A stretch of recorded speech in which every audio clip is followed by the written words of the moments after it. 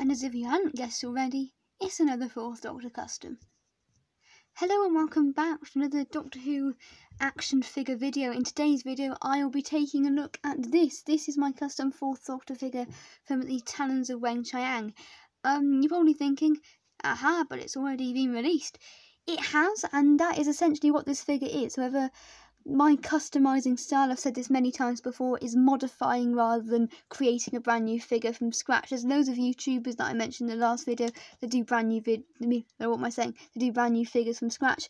I prefer to sort of modify previously released figures to make them look more accurate to the story they came from. So naturally, I was very drawn to the fourth Doctor figure that was based on his appearance in Talons of Weng-Chiang. One of the problems I had with that one is that they didn't do the iconic Deer Stalker hat which is rather annoying because at that point when B&M were releasing figures they didn't invest in any new sculpts that they're apparently doing now. And if you're wondering yes I have seen those pictures of the new apparently real B&M sets. Um speechless but um that's a topic for another video. But anyway um so how did I make this? Mostly it's just a repaint of the original release but um I did have a spare hatted Tom Baker head from that custom I did last time of the fourth Doctor from the Face of Evil. So I did have a spare hatted head from that figure. So naturally what I did for that is I got a tool and plucked the hat off, basically leaving him looking rather funny because he had this big plastic lump coming off the top of his head. And then I got a big blob of milliput and sculpted um, his deer stalker hat on, which, if it will focus, if it will focus, it actually looks rather nice and might have to just pull my camera back a little bit. But um, it was quite tricky to sculpt. However, in the end, um, I'm rather pleased with how it turned out. The, my paint apps on it, I'm not a very good painter in of any stretch of the imagination. If it will focus, I'm really not good with fine detail, not the way a lot of other customizers are.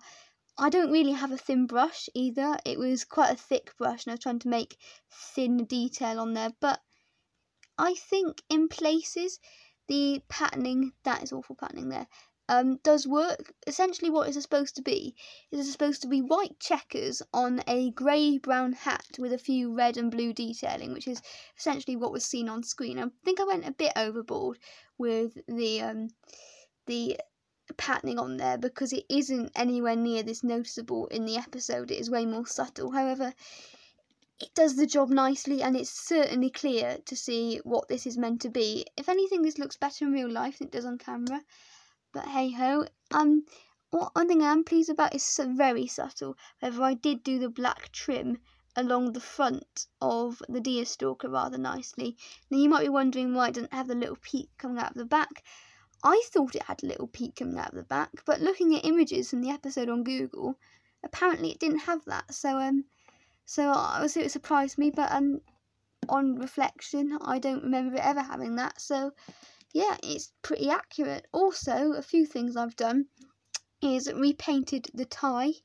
Um, you may have noticed some of these paint applications from previous video because this figure has featured in a previous video, but at that point I hadn't have done I hadn't done the deer stalker hat yet, and I hadn't done another little feature that I've done recently. It was sort of a halfway through video I did like months back, so I sort of came back to this recently and completed it. But um, yeah, I did repaint the tie because on the B and M one they didn't really bother to paint the tie at all. They just put a little red sort of a sort of like a resemblance of a tie, but it wasn't very well painted. Also, now I am determined that I've got this right and everybody else has got this wrong. Either the world's gone mad or I've gone mad. But I swear that Tom Baker's waistcoat is blue, not brown. B&M are determined that it was brown or some sort of grey colour. But looking at photos from Talons of Weng-Chiang and when this waistcoat was reused later on in the Key to Time series, I could swear it is blue, not brown. Everyone seems to think it's brown, but I swear it's blue. So um, I went with my gut feeling and painted it blue. And then I also, this is some rather nice detailing I forgot I did. I did some flecks of paint on there, which I believe is accurate to the episode.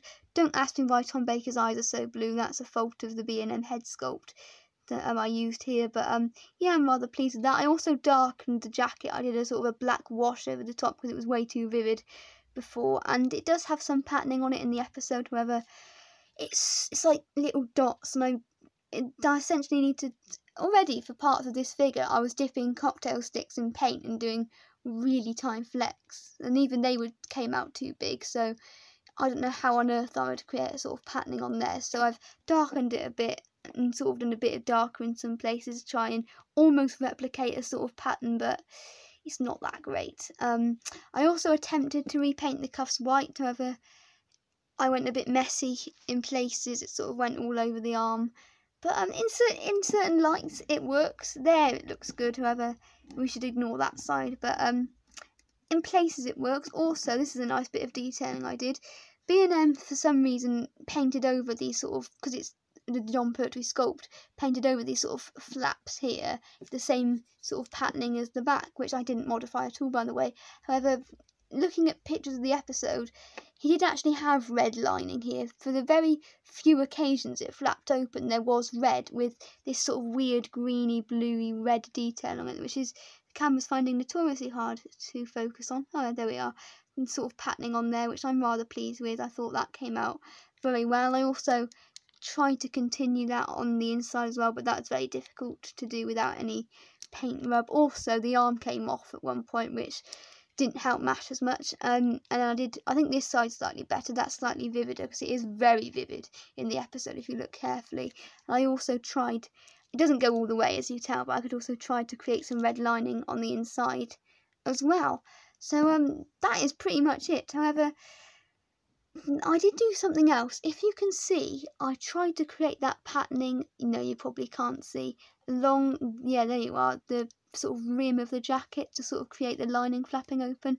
I tried to do that as well, and um, also the B&M figure that I use for this is the original one, not the re-release, where they actually sculpted trousers on. This is when he was painted over Jon Pertwee's boots. So I had a bit of Milliput spare, and I tried to sculpt some sort of a resemblance to trousers on it, and um, if it will focus again, I think I've done a decent job. I mean, admittedly, from that angle, it looks absolutely blooming awful, but um, at the front, I think that looks like trousers. I think that's a nice continuation. Doesn't look like boots like it originally did. That side's better, I think. That looks more natural, but I think from a distance, you would very, very you'd very hard to sort of question that that's not trousers. So um, so yeah, I'm I'm pretty pleased with this custom. It's not the best one I've ever done, however, it's up there, and I am improving as I'm going along with these customs. I was very tempted to give Tom Baker that sort of sticky out in the episode in his hand. I was going to snap a cocktail stick in half and paint it up, but um, I didn't have a cocktail stick spare, so um, maybe I'll go back and revisit it in the future. However, for now, this is coinciding with the season 14 Blu-ray as well. I thought it was quite nice little custom do, and also for some reason I I had to break open this in order to paint the waistcoat, and in doing so, he now can't close his jacket coat properly. His jacket coat, his jacket buttons properly. But to be honest, this is a really nice sort of little custom. And yeah, I definitely recommend it. If you've got a spare hatted Tom Baker head sculpt and you're not too bad at painting, because admittedly, I'm not the best painter of figures in the world, but I wouldn't say I'm bad at it. I'm just not as good as some other people. But I think I'm very pleased with how I didn't spill over the blue line here, so I think that's quite proud of that. But yeah, if you've got if you want to customize this, and I definitely recommend it, is a really rather fun one to do. However, the only problem is, is if I move my tripod up, this is a pretty full shelf, isn't it? So, uh, not much. Oh, actually, it's focusing now, isn't it? It's focusing now. I don't want it to focus on you. But yeah, hopefully don't all fall down because that shelf fell, has fallen over twice in the last weekend. However, I'm not really sure how I'm going to fit this little guy in there, unless I try to fit him in here which is impossible and he wouldn't go in there because that's the 60s but um I might maybe maybe I might film this trying to torture myself putting that in one-handedly and not watching them all fall down. That would be fun. But anyway I hope you have enjoyed this video this sort of custom figure review. I, I can't really call it a custom figure review because then in that way I'll be reviewing my own figure which isn't really right. But anyway, thank you very much for watching. A bit of a shorter one today because I don't know why my videos have gone so long. But anyway, thank you very much for watching and silence in the library. Right, here goes. No, I'm not going to do it, I'm too scared.